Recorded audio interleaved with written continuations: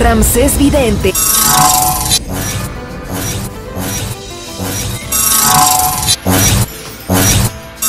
Espera que la serie sobre la vida de Joan Sebastián se estrene muy pronto, tanto en México como en la Unión Americana.